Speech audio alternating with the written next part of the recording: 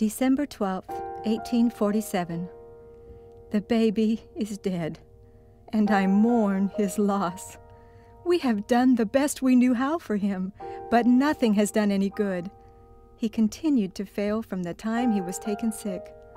My sister Caroline and I sat up every night with him and tried to save him from death, for we could not bear to part with him, but we were powerless.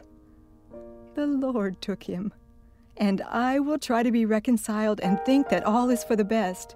He was my greatest comfort and nearly always in my arms. But he is gone, and I cannot recall him. So I must prepare to meet him in another life, and I hope a happier world than this.